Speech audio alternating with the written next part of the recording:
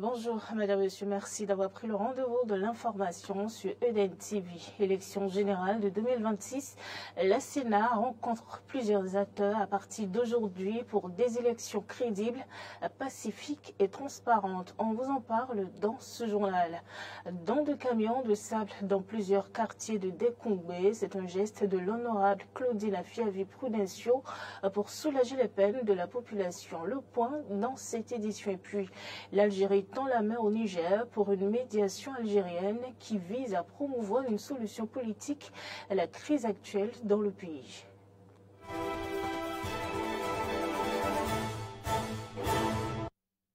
Vous faites bien, Madame, Monsieur, de toujours nous préférer pour vous informer. On démarre cette édition par une brève. Les journées portes ouvertes de la Commission électorale nationale autonome Sénat démarrent aujourd'hui pour des élections crédibles, pacifiques et transparentes. L'institution en charge de l'organisation des élections échangera avec les auditeurs de la chaire de l'UNESCO, les représentants d'organisations de la société civile, les représentants des partis politiques, les acteurs des médias, l'Agence nationale d'identification des personnes ANIP et la direction des partis politiques et des affaires électorales. Ces, ces journées portes ouvertes prendront fin le vendredi 5 octobre prochain. Les députés ont procédé tard dans la nuit d'hier lundi à l'adoption du budget de fonctionnement de l'institution parlementaire gestion 2024. On va retrouver Prince Martial à Goliago pour plus de détails depuis Porto Novo. Oui, 80 députés de la 9e législature ont répondu à l'appel du président de l'Assemblée nationale Louis Béon Vlavonon pour procéder à l'ouverture officielle de la troisième session extraordinaire au titre de l'année 2023. Cette session est entièrement consacrée à l'examen du budget de l'Assemblée nationale gestion 2024. La plénière ainsi ouverte 16 députés ont sollicité l'examen en procédure d'urgence. Soumise au vote par le président de séance Louis Béon Vlavonon, la procédure d'urgence a été approuvée par 57 députés de la majorité présidentielle.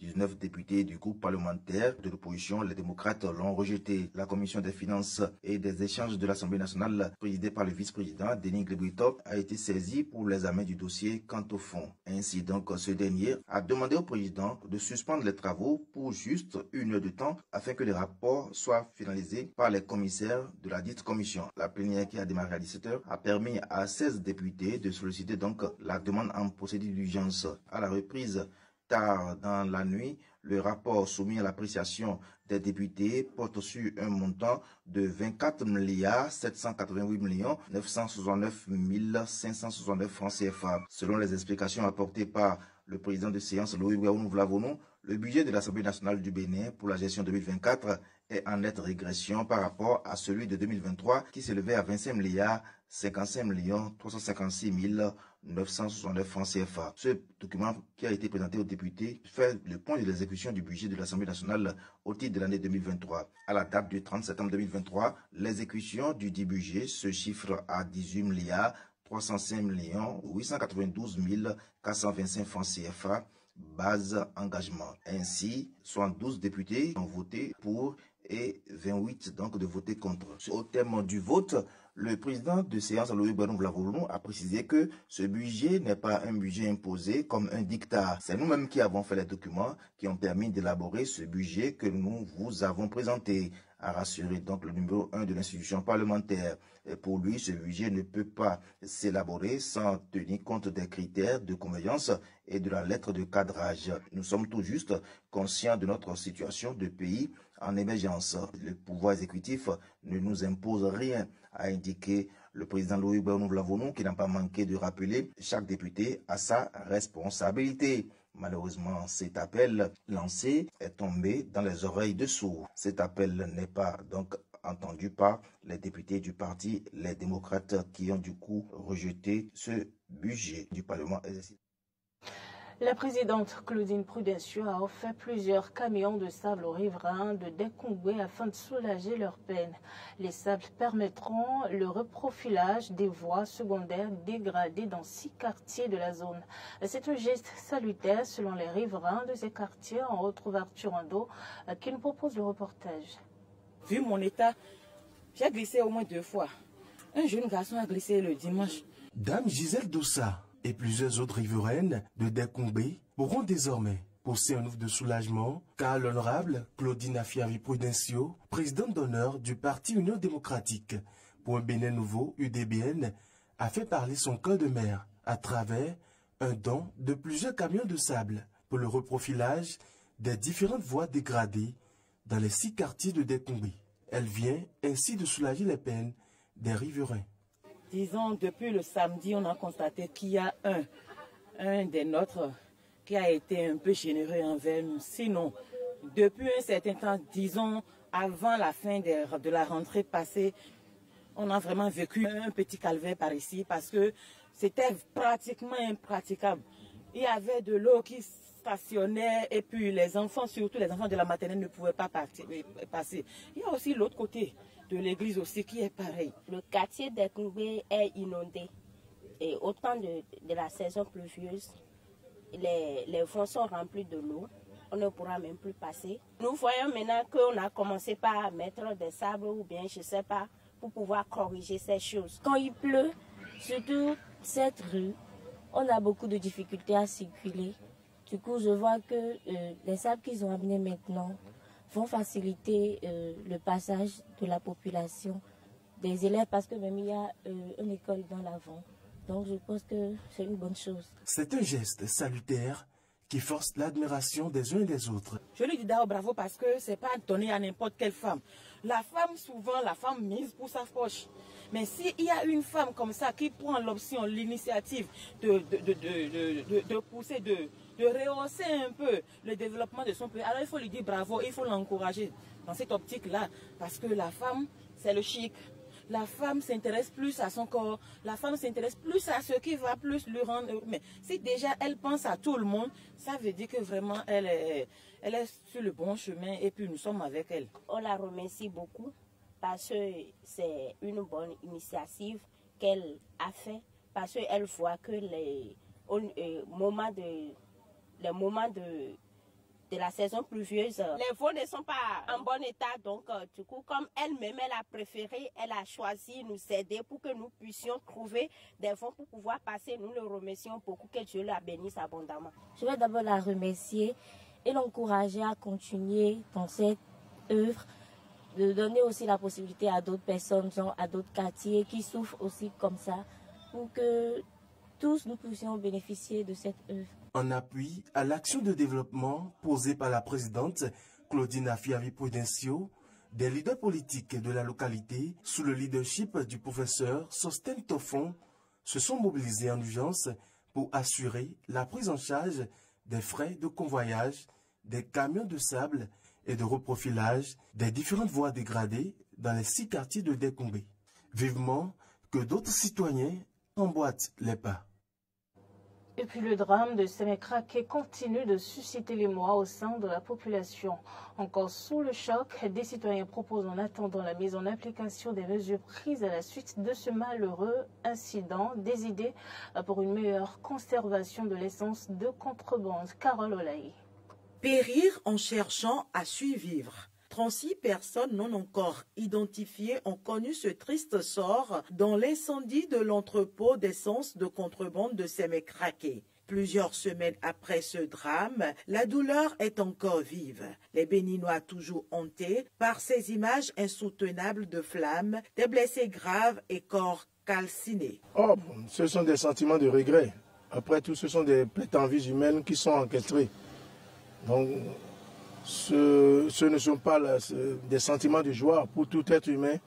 Ça doit le frustrer. Donc. Par rapport à, à ce drame, j'étais vraiment choqué parce que ça fait tellement de ravages que, bon, c'est le sang humain.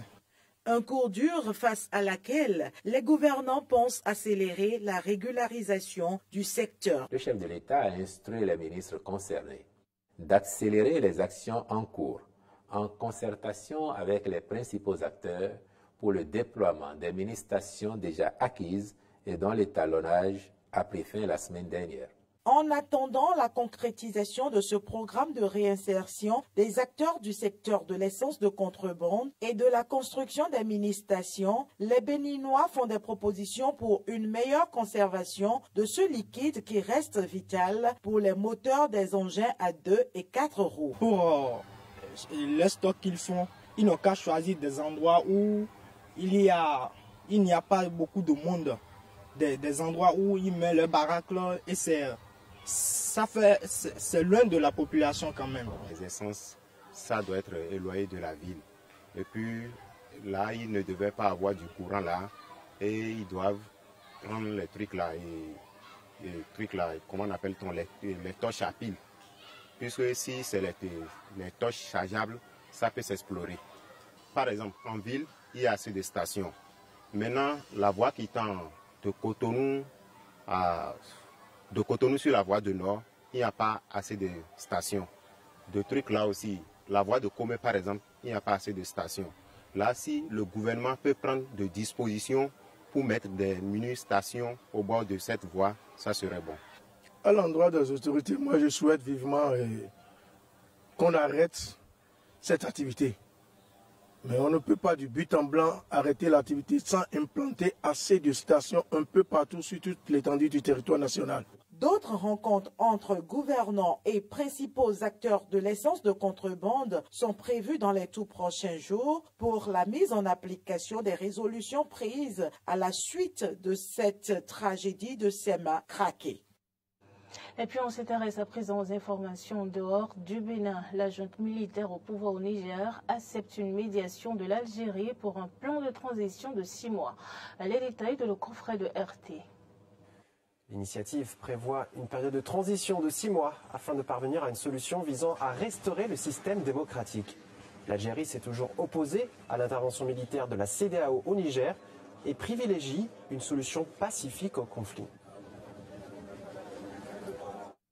Prenant acte de cette notification, le président de la République a instruit le ministre des Affaires étrangères et de la communauté nationale à l'étranger, M. Ahmed Attaf, de se rendre à Niamey dans les plus brefs délais en vue d'y entamer des discussions préparatoires sur la mise en œuvre de l'initiative algérienne avec toutes les parties prenantes.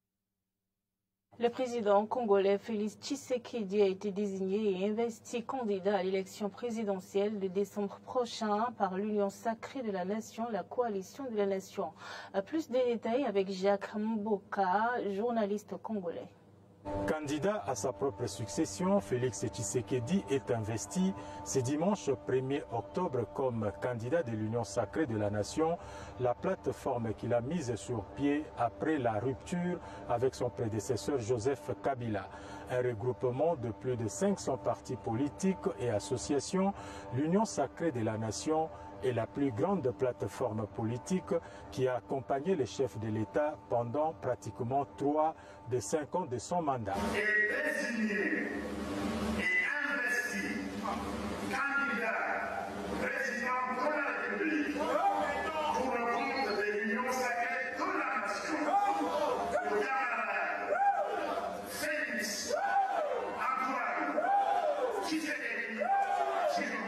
Nous sommes venus aujourd'hui soutenir la candidature du chef de l'État, c'est puisque, en tant que député provincial, en tant que membre de l'Union sacrée, nous pouvons que soutenir notre candidat qui est Félix Antoine Tsedi Chilombo. Pourquoi? Puisque vous devez savoir que notre pays, à l'heure actuelle, a besoin d'un digne fils, quelqu'un qui est capable de faire ce que Mobutu a fait quand il est au pouvoir réunir le pays. Nous avons estimé qu'il n'y avait que Félix qui pouvait nous conduire aux élections. Et il a fait d'une manière démocratique. Il n'a pas fait comme les autres présidents le font. Ils disent à leur euh, porte-parole de dire voilà, le président, il est déclaré candidat. Non. Il a dit que ça passe au Congrès. C'est un démocrate.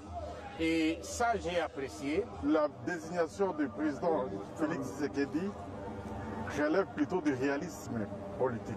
En fait, c'est le candidat qui a respecté, qui a respecté le peuple congolais. C'est le candidat qui a apporté plus de, de visibilité pour notre pays Le président sortant fera face à plusieurs têtes de l'opposition, dont l'ancien gouverneur du Katanga et président du parti Ensemble pour la République Moïse Katumbi, Augustin Matata Pogno, ancien premier ministre, qui est actuellement sous une poursuite judiciaire.